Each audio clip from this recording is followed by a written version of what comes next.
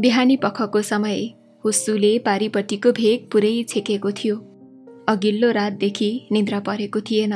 निदाउन खोज्छु आँखा बन्द गर्न खोज्छु। तर अह मस्तिष्कले मेरो आँखालाई विरोधको कालो झन्डा देखाएको थियो।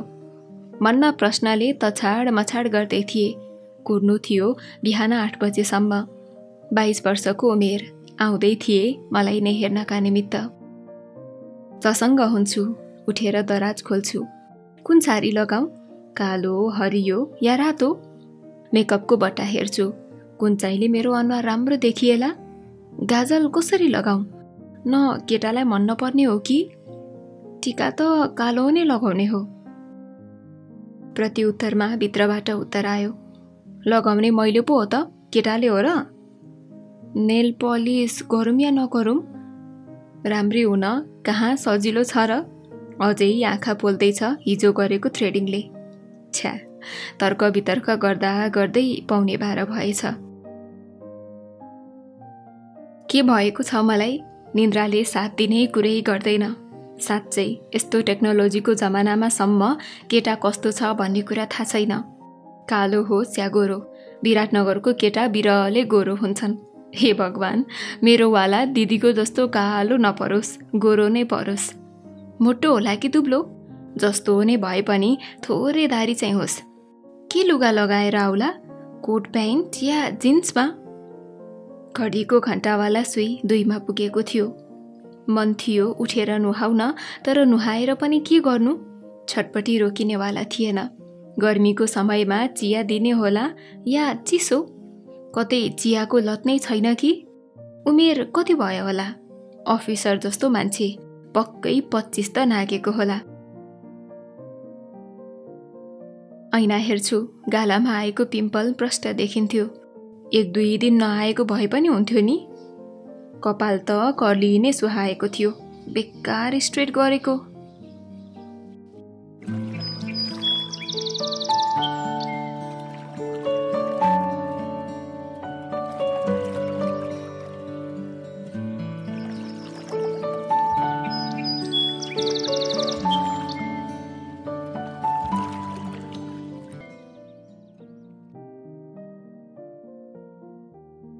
अलराम बस्न थाल्यो। पहिलो पटक ननिदाई रात कट्यो जराक जुरुक्क उठेँ। ल्यान्डलाइनको फोनले आफ्नो चहरको आवाज निकाल्दै थियो। पहिलो पटकलाई इग्नोर गरेँ। दोस्रो पटक मामु र म सँगै भएछौँ। फोन उठाउने भाग मेरो नै पर्यो। अब हामी एक घन्टामा आइपुग्छौँ। केटाको बाबुको स्वर प्रष्ट सुनिएको थियो। हवस् भनी फोन राखेँ। अनुहारले रङ फेरेको थियो। रातो स्याउ र ममा केही फरक थिएन। मामु मेरो अनुहार हेर्न लाग्नुभयो। म लाज छोप्न कोठातिर लागेँ। बाँकी एक घन्टा थियो। बाहिर भित्र गर्दै थिएँ। पल्लो घरको बहिनी मेरो नै उमेरकी थिए। मेरो मग्नीको कुराले मभन्दा बढी फुर्लुङ्ग देखिन्थे। धन्न ऊ आइपुगी र बोल्ने मान्छे पाएको थिएँ। दिदी दिदी सुन्नु न। हुनेवाला भिनाजु कालो हुनुहुन्छ अरे हो उसले हाँस्दै सोधी। तैँले देखेकी होलिस् नि। के मलाई सोधेकी नि? मलाई रिस उठ्यो। उसले काले भनेको सुन्दा। हेर न मक्ख परे कि बिहे हुने भयो भनेर। तेरो बिहे मै भाँडिदिन्छु। दिदीले सुवर्णलाई माया गर्छे उसलाई बोलाउनको लागि यो सब नाटक हो। यति भनेपछि काम पुगिहाल्यो नि। ऊ यसो भन्दै मलाई जिस्काउँदै थिए। बहिनी जिस्केकी थिए होली तर मलाई यो कुराले वास्तवमै खल्लो अनुभव भयो। सुवर्ण मेरो प्रेमी कुरा गर्न छोडेको छ महिना भएको थियो। तर सम्झना बारम्बार तितो घटना जसरी आइरहन्थ्यो। सोच्दै थिएँ उसको र मेरो प्रेमिल दिनहरू।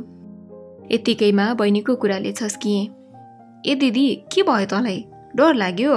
नडरा केटाले तँलाई खाँदैन हेर्न मात्र आउन लागेको हो। ऊ मलाई सम्झाउँदै थिए।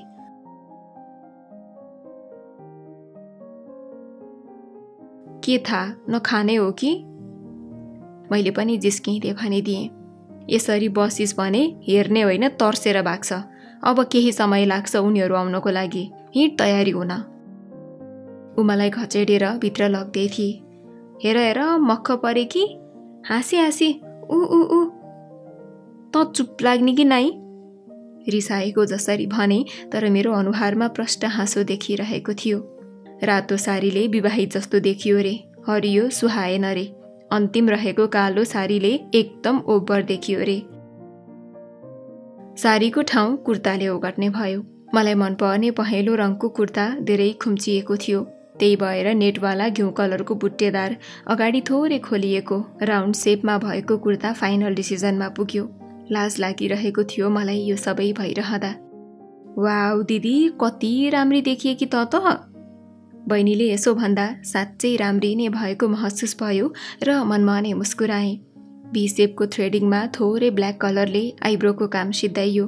आँखामाथि फिक्का स्मोकी टाइपको आइस्याडो लगाएपछि आइलाइनरले लाइन मिलाइयो। आँखाको भित्री भागमा गाजल लगाइसकियो। त्यसपछि फेसमा जोए पपायाको क्रिम लगाएपछि पनि केही अपुरो भएको महसुस भयो। त्यस पश्चात फाउन्डेसनले गर्दा मेरो अनुहारमा चमक बढ्यो। पुक्क परेको गालामा रोजले गर्दा अझै धेरै सौन्दर्य थप्यो। कुर्तासँग मिल्दो टप लगाएँ। मलाई हेयरस्टाइलमा त्यति ध्यान नजाने भएकोले नर्मल साइडमा सिउँदो बनाएर अगाडि भागमा रहेको कपाललाई निदा राधा छोपेर कानमा लाई अड्काएँ। नेल पोलिसले गर्दा नङहरू रङ्गिन देखिन्थे। फिक्का नदेखिने खालको मरुन कलरको लिपस्टिक लगाएँ। मेरो लागि यो अथवा भनौँ यति विधि मेकअप पहिलो पटक थियो। ऐना अगाडि बस्दा छक्क परेँ। म पनि यति धेरै राम्री देखिन्छु। होइन छोड्नै मन लागेन। मुस्कुराउँदै बसेँ। बहिनी पनि एक टकले मेरो अनुहार हेरेको हेरै भई साँच्चै दिदी कति धेरै राम्री देखिएको? मलाई मामु अगाडि लगियो। मेरो छोरी पनि यति धेरै राम्री। हुनेवाला ज्वाइँले औँला उठाउने ठाउँ नै छैन। मामुले भन्नुभयो भाइको बोली नै फुटेन। दिदी यति धेरै राम्री भएपछि मलाई कसैले हेर्दैन भन्दै बहिनी पानी लिएर मलाई लखट्न लागि। आफूलाई जोगाउन म भाग्दै थिएँ। भाग भाग अझै भाग। ऊ पारी गाडीको हर्न सुनिस् भिनाजु आइपुग्नुभयो भन्दै बहिनी फेरि जिस्काउन थाली। अनुहारमा लाजको थप्पा बलिरहेको थियो। धन्न होइन रहेछ। मलाई भने ऐना हेरेको हेरै गर्न मन लागिरहेको थियो। आफ्नै अनुहार सुमसुम्याउन लागे। केही बिग्रियो कि? भनेर बडो ख्याल गर्न लागेँ। एक घन्टा बित्यो। भान्साबाट खानाको मिठो बास्न आइरहेको थियो। कहिले लुगा टकटक्याउन लागेँ कहिले ऐना हेर्न लागेँ। कहिले गाजल हेर्छु त कहिले कपाल सुमसुम्याउँछु। एकदमै हतारो भएको थियो तर भन्न मिलेन। मनमै कुरा राखेँ। ढिला गरेको भनी बाबा गनगन गर्न लाग्नुभयो। मामुको करले हुनेवाला दुलाहाको बाबुलाई फोन गरियो। माफ गर्नुहोला तपाईँले सम्पर्क गर्न खोज्नु भएको मोबाइलको स्विच अफ गरिएको छ। उताबाट टेलिकमको दिदीको आवाज आयो। पुनः फोन हानियो तर फोन दुलाहाको बाबुले होइन। टेलिकमको दिदीले नै उत्तर दिइरहेकी थिइन्।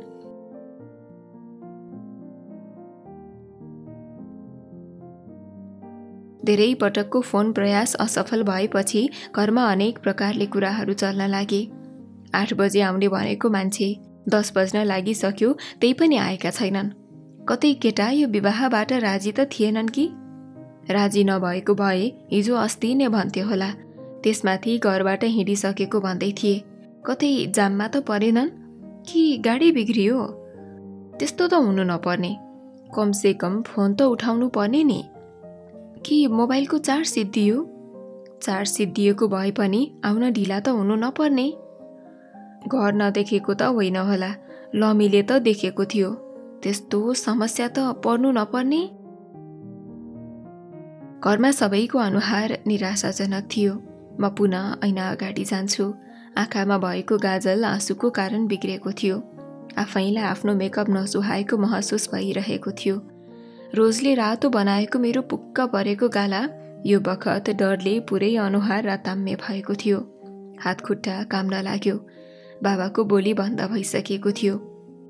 बहिनीको दिगदार अल्मलिने खालको थियो। त्यो राम्रो लागेको आँखा पनि यो बखत नसामा डुबेको जस्तो। कानमा भएको टप नै भारी भएको थियो। ओठको मरुन कलरको लिपस्टिकको कलर उडेको थियो। जीवन नै पुरै ब्ल्याक एन्ड व्हाइट टिभीको प्रसारण रोकिएको जस्तो भयो। कसैको बोली राम्रोसँग सुनिएन। तिन घन्टा अघिको उत्साह समुद्रमा परेको मोती जस्तो भएको थियो। महत्त्व सबैलाई थाहा थियो तर पाउनेवाला कोही थिएन। झिनो डोरीमा बाँधिएको आस बाँकी थियो। यो पनि कुन बेला टुट्ने हो थाहा थिएन। आएका दुई चारजना इष्टमित्र मुखामुख गर्न लागे। म आफूलाई सम्हाल्न सकिनँ र कोठाभित्र गएँ। बहिनी पनि पछि पछि आइन्। म रुन लागेँ बहिनीलाई अँगालोमा राखेर आँखाबाट पीडा भुलाउन लागेँ। बहिनीको कुम भिजिसकेको थियो। यो रोदन लामो समयसम्म चलिरह्यो। समय दुई बजेको थियो। टेबलमा भएको फुलहरू ओइलाउन थालिसकेको थियो। बाहिर आकाश कराउन लाग्यो। दिनमै अन्धकार भएर आयो। कालो बादल एकअर्कालाई ठक्कर दिँदै थिए। पीडा सहन नसकेर पीडाका छिटका जमिनमा पोखिँदै थियो। यो दुनियाँले टेकेको जमिन पवित्र भयो। बाटो किनारको कुलो भरिभराउ थियो धमिलो पानीले। योभन्दा हजार गुणा धमिलो मेरो मन भएको थियो। पहिलो मग्नी नै आँसुको डुबानमा परेको थियो।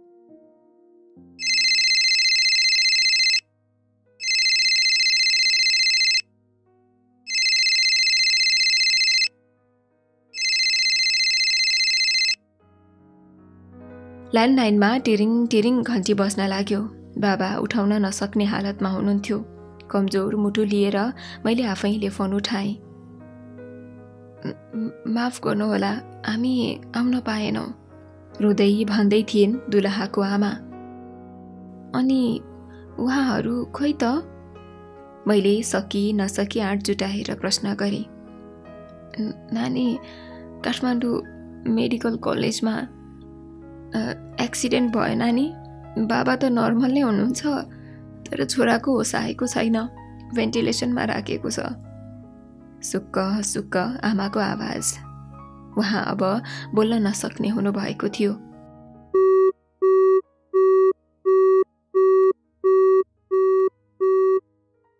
फोन आफै डिस्कनेक्ट भयो। मेरो हातबाट फोन खस्यो। आँखाबाट आएको आँसु रोकिनेवाला थिएनन्। आफूलाई सम्हाल्न नसकेर त्यहीँ लडेछु।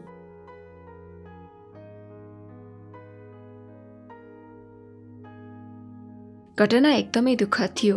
हामी सपरिवारलाई भगवानले ठगेका थिए। हस्पिटल जानको लागि गाडी रिजर्भ भयो। निराशाजनक म एवं मेरो परिवार आइसियुमा पुगेका थियौँ। रोदनको चिच्चाहाटले मेरो खुट्टा कामिरहेको थियो। भग्नीको लागि ल्याएको सम्पूर्ण सामग्री छरपष्ट हस्पिटल बाहिर छरिएको थियो। सामग्री देख्दा इङ्गेजमेन्ट नै गर्न आएको जस्तो देखिन्थ्यो। रातो रङको साडी देख्दा केही हदसम्म मेरो नै बेहुला जस्तो लाग्यो। मेकअपको बक्सा किस्ती सजी सजाउ थियो। बाबा भित्र छिर्नुभयो।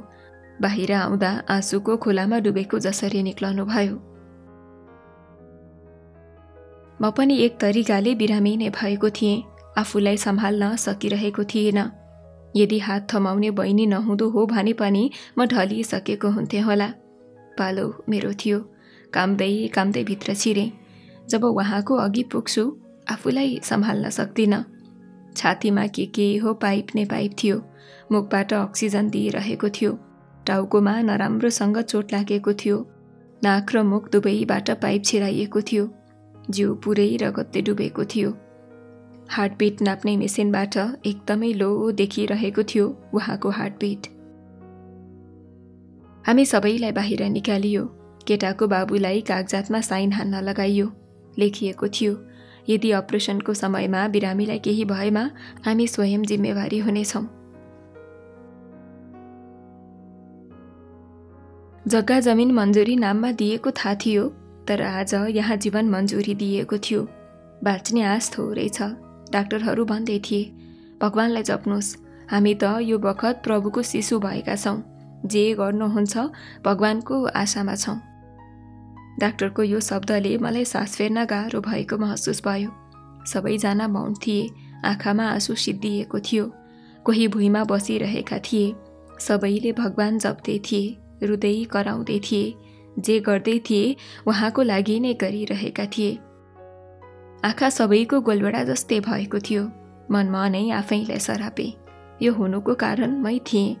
कस्तो दिनमा जन्मायो आमा यदि म थिइनँ भने मग्नीको कुरै हुँदैनथ्यो कमसे कम यहाँ यो पढाइ मान्छे यो अवस्थामा त पुग्ने थिएन। किन यो संसार देखायौ? तिमी निर्दय रहेछौ ईश्वर। यदि तिमीले कसैको पीडा देख्न सक्दैनौ भने उहाँलाई ठिक बनाइदेऊ। हे मेरो भाग्य मेरो कर्म किन मलाई नै गर्यो यस्तो? किन? हे ईश्वर आज एउटा कुरा माग्छु। त्यो पुरा गरिदेऊ। सक्छौ पुरा गरिदिन। मेरो उहाँलाई ठिक बनाइदेऊ। एक्लै बरबराउन लागेछु म। मलाई यो बाह्र घन्टा बाह्र वर्ष जस्तो भयो। मलिन अनुहार लिएर निराश हुँदै निस्किन्छन् डाक्टर। जसले पनि पढ्न सक्थ्यो यो बखत डाक्टरको मुहार। झिनो आसले अन्तिम पटक ईश्वरलाई जप्छु। बिन्ती छ ईश्वर। उहाँको जीवन फिर्ता गरिदेऊ। डाक्टरले केटाको बाबुको काँध थपथपाउँदै भने सरी हामीले हजुरको छोरालाई पुनः जीवन दिन सकेनौँ।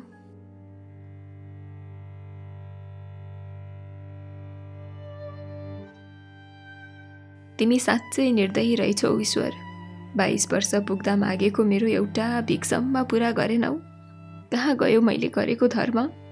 धर्मको नै कुरा गर्ने हो भने यहाँ हामी पन्ध्र बिसजना थियौँ। कि हामी सबै नै पापी थियौँ र? के त्यो आमाको माया देखावटी थियो? बाबाले गरेको दुःख पानीको फोका थियो फुटी जाने? के मैले गरेको प्रार्थना अपुरो थियो? भन्न सक्थ्यौ भगवान् के कुराको कमी थियो? बरु मै मरिदिन्थेँ ती आमाको हाँसोको लागि बाबाको सङ्घर्षको लागि दिदीको भाइटिकाको लागि। भन ईश्वर भन। अझै मेरो जीवन विलिन गराउँदा उहाँको जीवन फिर्ता हुन्छ भने म हाँसी हाँसी मेरो अस्तित्व यो दुनियाँ सामु खरानी बनाइदिन्छु। सक्छौ? अह सक्दैनौ? तिमी त त्यही ढुङ्गा रहेछौ। पूजा गर्नु र नगर्नु केही अर्थ थिएन। मन रहेनछ ईश्वर तिम्रो अरूको दुःखमा रमाउँदो रहेछौ। कसरी सकेको? अब तिमी हुनु र नहुनुले केही फरक पार्दैन मलाई। यो विश्वमा तिम्रो विरोधी कोही छ भने त्यो अरू कोही होइन। मै हुँ। हो मै हुँ। ती बिहोसी आमा बोल्न नसक्ने बाबा मौनताको पक्ष लिने मेरो परिवार। आँसु सिद्धिए कि म? मेरो खुसीको हत्या भयो। मेरो इच्छाको इज्जत लुटियो। साँच्चै ठगिएकी छु म? पहिलो प्रेम असफल भएको थियो। निकै माया गरेँ उसलाई। आफ्नो सर्वस्व सुम्पिएँ र पनि उसकी हुन सकिन। दोस्रो मेरो मग्नी तोडिएको थियो। छ महिना पहिलाको कुरा सम्झिन्छु। कति धेरै माया गर्थ्यो सुवर्णले। माया नगरे कि मैले पनि कहाँ हो र? दैवको खेल अपरम्पार थियो। मैले त्यो पार गर्न सकिनँ। यदि सुवर्ण थियो भने पनि अङ्गालोमा राख्थ्यो होला। मेरो आँसु झर्न दिँदैन थियो होला। कुनै मान्छे बिर्सनको लागि एक्काइस दिन भए पुग्छ भन्छन्। यहाँ त छ महिना भइसकेको थियो। झलझली सम्झिँदैछु उसँग बिताएका ती तिता पलहरू बिर्सन सकेको रहेनछु उसलाई उसको मायालाई। कहाँ छ होला अहिले? के गर्दै होला? सधैँ भन्ने गर्थ्यो तिमीलाई पीडा हुँदा मलाई जलन हुन्छ। के यो बखत उसलाई पनि मलाई जस्तै भएको छ? मेरो पागलपन हदभन्दा माथि उठिसकेको थियो। यहाँ एकजनाको लास छ। म भने बितेको कुरा सम्झाउँदैछु। सम्झाउँदै होइन आफैले सराप्दैछु। घाउमा नुन मात्र होइन घाउलाई कोट्याएर ठुलो बनाउँदैछु। नुन त छर्किनु पर्दैन थियो त्यो नुनिलो समुद्रमा डुबेको थिएँ। आमाको होस आएछ उहाँको चिच्याहटले झस्किएँ। पोखरामा सरकारी जागिरे भएका भाइ नआइकन लास नउठाउने कुरा भयो। अबको केही बेरमा आइपुग्छन् रे? हस्पिटल वरपरका मानिसहरू हाम्रो पीडामा दुःख पोख्दै थिए। केही पर अग्लो जुस्स दारी पालेको निराशजनक केही हतारो जसरी हस्याङ फस्याङ गर्दै एउटा केटो आउँछ। सबैले उहीतिर हेरेको देखेर म पनि मेरो आँखा त्यो युवकतिर लान्छु। आमा झन् ठुलो स्वरले रुँदै भन्दै हुनुहुन्थ्यो।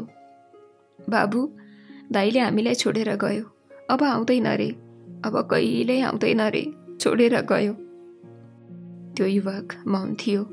आमालाई अँगालो मारेर आँखाबाट आँसु बगाउँदै थियो। जब त्यो युवक हामी भएतिर आयो म झस्किएँ त्यो युवक अरू कोही थिएन सुवर्ण थियो जसलाई छ महिनापछि पहिलो पटक यो ठाउँमा देख्दैछु। यो बखत सुवर्णको जिउ कामदै थियो। मिल्ने थियो भने उसको हात समाई भनिदिन्थेँ। सुवर्ण तिम्रो दाईको हत्यारा मै हो। हत्या त मैले तिम्रो पनि गरेको थिएँ। तिम्रो मानसिक हत्या तिम्रो दाईको शारीरिक हत्या।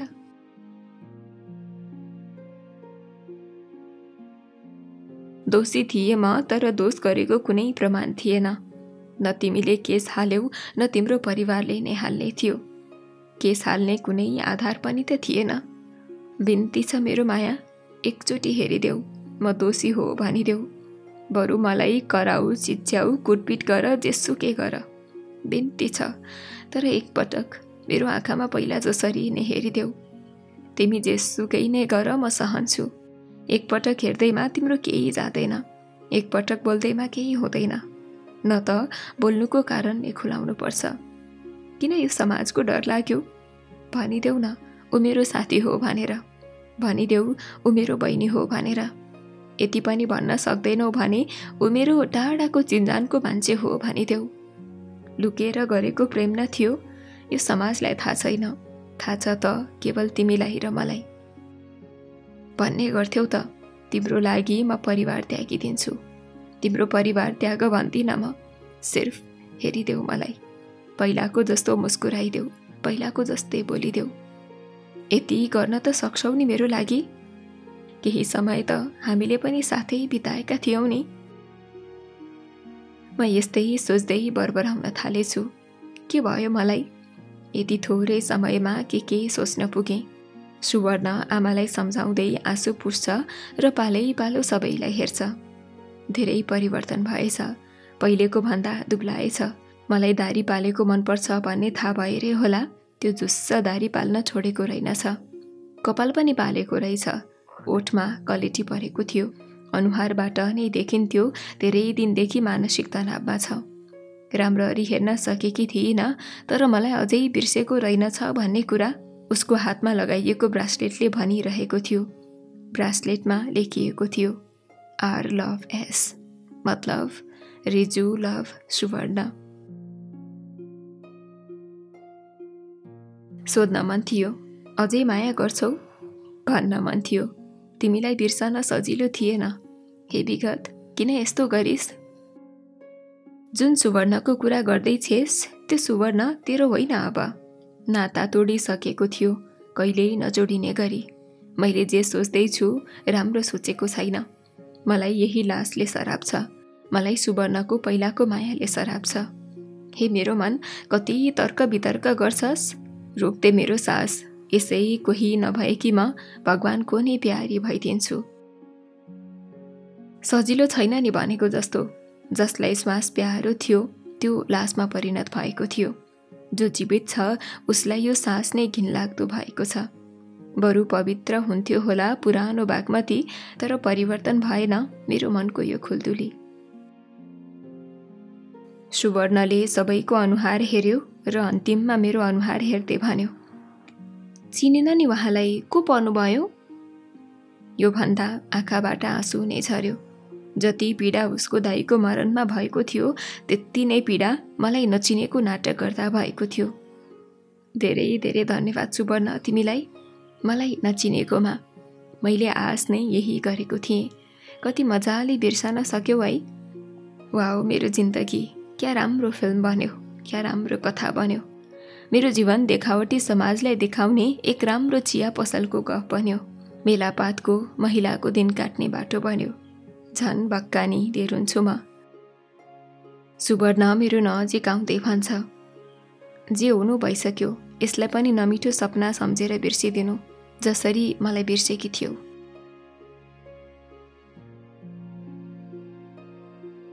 सुवर्णले यसो भनिरहँदा मैले महसुस गरिरहेको थिएँ। कि सुवर्णले मलाई छिया छिया पारी काटेर भन्दै थियो। हाँस रिजु हाँस तिमी रोएको सुहाउँदैन मुटु निकालेर भन्दै थियो। मायाको लागि होइन तिम्रो यो मुटु चोट दिनको लागि हो। अब अरूलाई नरुला उफ्रिए किन यति धेरै सोच्दैछु म? राम्रो गर्यो मलाई नचिनेर धेरै राम्रो गर्यो। हाँस्न मेरो भाग्यमा रहेनछ। म भने दाँत देखाइरहेको रहेछु। हेर्ने मेरो अधिकार रहेनछ तर म सपना देखिरहेको रहेछु। म बसेको ठाउँमा सुवर्ण आइपुग्छ र भन्छ कसरी यहाँ आयो रिजु? आई मिस यु अलट आँखा जुत्यो हेर्न सकिनँ। उसको मोबाइलमा मेसेज आएको थियो। कसको आएको हो त्यो थाहा पाइनँ। रिप्लाई पनि दिएन। मोबाइलमा भएको वालपेपरले म सपनाबाट भ्याउचिए जस्तै भएँ। कुनै अपरिचित केटीको फोटो थियो। उसको मेस्यौको रिप्लाई दिन जरुरी ठानिन। अब मैले नयाँ जीवनको सुरुवात गर्नु थियो। मिल्ने भए म पुनः जीवन लिन्थेँ बिर्सिन्थेँ सुवर्णसँगको चार वर्षे लामो कथा। त्यागिदिन्थेँ मग्नीको त्यो दिन जाँदैनथ्यो यहाँ सुवर्णको दाजुको ज्यान। सुवर्ण भन्दै थियो धेरै परिवर्तन भएछौ थ्रेडिङ पनि गर्न थालेको? गाजलले बिछट्टै सुहाएको छ। वरिपरि हेर्छु यहाँ लास छ। उसलाई यसले केही फरक पारेको छैन। कुरा गर्दैछ मेरो सौन्दर्यको। के भयो तिमीलाई? अहिले यस्तो कुरा गर्ने समय होइन। Riju I still love you ऊ भन्दै थियो। सुवर्ण प्लिज यस्तो कुरा नगर। उचित समय होइन यो। त्यसो भए हिँड बाहिर। म सुवर्णलाई देखेर अलमल्लमा परिरहेको छु। के भन्दैछ? किन भन्दैछ? र के को लागि भन्दैछ? प्लिज रिजु। उसको प्लिज मेरो लागि फेर्ने सास हुन्थ्यो नाइ भन्न सकिनँ। दोधारमा परेको यो मन अघि नै शङ्का गरिसकेको थियो। मनमा कुरा गुम्साउन सकिनँ। वालपेपर कसको हो? मेरो मोबाइल हेर्न भ्याएछौ तर कुन सेट बोक्थेँ भन्ने चाहिँ बिर्स्यौ जस्तो छ। उसले हाँस्दै जवाफ दियो। साँच्चै उसले आइफोन बोक्थ्यो। अघिको सेट त स्यामसङ थियो। थोरै मुस्कुराउँदै भन्यो मेरो वालपेपर कहिले चेन्ज हुँदैन। जुन तिमीले राखेको थियौ अहिले पनि त्यही नै छ। आइफोन झिकेर वालपेपर देखाउँछ। उही उसको र मेरो अँगालो मारेको फोटो थियो। अनि त्यो सेटमा भएको फोटो? मैले फेरि सोधेँ। हतारमा साथीको पनि मोबाइल बोकेछु। मनमा नै खुसी भाइ आँखा जुद्यो तर लभ यु टु भन्ने आँट आएन। माया भनेको यही हो नि। जे भए पनि मनमा रहिरहने। माया भनेको त्यही रहेछ। सोचेको थिएँ बिर्सिसक्यो होला तर मलाई भन्दा बढी जलन उसलाई भएको रहेछ। मायामा कति धेरै शक्ति हुन्छ। भर्खरै भएको घटनामा पनि मलम लगाइदिएको थियो मायाले। मलाई पीडा भइरहेको थियो उसको दाजुको त्यस्तो हालत भएको देख्दा। तर पनि उसले अझै मलाई माया गर्छ भन्दा केही हदसम्म मेरो मुटुलाई राहत मिलेको थियो। उसलाई मामाले भित्र बोलाउनु भयो जानु अघि मैले हक गरिदिएँ। उसको मोबाइल हेर्दै थिएँ। हतारले गर्दा मोबाइल नै मलाई छोडेर गयो। मोबाइल लक थियो। पासपोर्ट सुवर्ण लभ रिजु हाने मोबाइल अनलक भयो। खै के भएको हो? फेसबुक खोल्न मन लाग्यो। लगआउट रहेछ। लगइन गर्न लागेँ। पासपोर्ट पहिलाको नै हाने तर खोलिएन। एकचोटि भनेको थियो यदि हाम्रो ब्रेकअप भयो भने रिजु हेट मी भनेर पासवर्ड राख्छु। रिजु हेट मी पासवर्ड राखेँ। नभन्दै खोलियो। कोहीसँग पनि कुरा गरेको रहेनछ। चार पाँचजना केटाहरूसँग कुरा गर्दो रहेछ।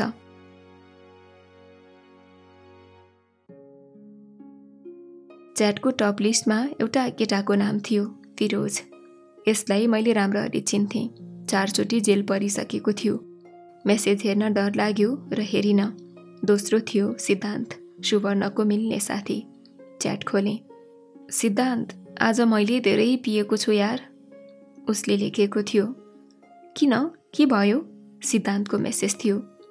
रिजुको विवाह मेरो दाईसँग हुँदैछ। सुवर्णको मेसेज के भन्छ? कसरी? सिद्धान्तले सोधेको थियो। दाईले भनेको काठमाडौँको केटीसँग मग्ने हुँदैछ। नाम रिजु श्रेष्ठ।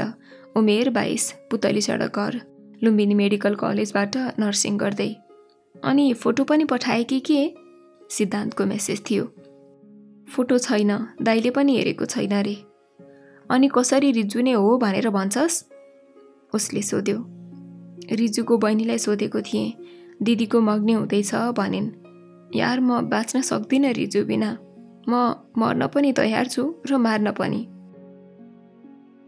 सुवर्णले यस्तै भनेको थियो। तैँले धेरै पिएको छस् भोलि कुरा गरौँला सिद्धान्तले लेखेको थियो। त्यसपछि मेरो मनको ढुकढुकी बढ्यो। कुरा हेर्नु थियो फिरोजसँगको। मेसेज सुरुबाट हेरेँ। सुवर्ण दाई इज नो मोर उसले लेखेको थियो। के भनिस्? मैले त सिर्फ एक्सिडेन्ट गरा बिहे रोक्नु छ भनेको थिएँ। सुवर्णले आत्तिँदै मेसेज पठाएको थियो तर त्यसपछिको मेसेज सेन थिएन। मैले सेन गरेँ। हाम्रो टिफरको ड्राइभरले बिस्तारै हानेको रे तर ठुलो कान्लो भएको कारण हो गहिरो चोट लाग्यो। हस्पिटल लगेको थियो रे भर्खरै मर्यो भन्ने खबर आयो।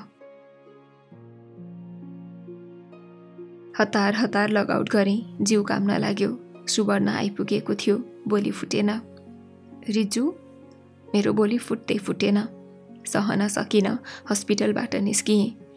मायाको लागि जे पनि गर्न सक्ने मान्छे रहेछ। कुनै दिन मेरो सानो गल्तीबाट उसको ज्यान नजाओस्। घरमा आएर पङ्खामा डोरी लगाउँछु। सुवर्ण तिमी नै मेरो सब कुरा हो। तिम्रो रिप्लाई अब दिन्छु। आई लभ यु टु सुवर्णलाई यति मेसेज लेखेर पठाएँ र म सरासर घरमा गएँ। अब मलाई मेरो जीवनको लक्ष्य राम्रोसँग थाहा थियो। दिदीको डायरीमा यति नै लेखिएको छ। आज दिदी बित्नु भएको पनि एक वर्ष भयो। यो डायरी पढ्दा पाना नै पछि मेरो आँसु छ। एउटा माया गर्ने जोडी मग्नीको कारणले टुट्यो। मायाको लागि दाईको ज्यान गुम्यो न माया सफल भयो न त अरू नै। लासमाथि अर्को लास पर्यो। सुवर्ण अझै पनि रिजु फर्किन्छन् भन्ने आशमा पाटन हस्पिटलमा बरबराउँदैछन्। मानसिक सन्तुलन गुमाउन पुगे। डाक्टरहरूले उहाँलाई ठिक गराउन सक्दैनन् रे। मायामा छटपटिँदैछन् प्रत्येक शब्दमा रिजुको नाम लिँदैछन्। अब यो संसारमा उनीहरू त छैनन् भने दिदीले लेखेको यो डायरीको के काम? आवेगमा आएर आगोमा हालिदिन्छु बल्दैछन् तिता मिठा कुराहरू। सोचिरहनु भएको होला म को हुँ? म त्यही हुँ दिदीको मग्नीको दिनमा मेकअप गरिदिने बहिनी।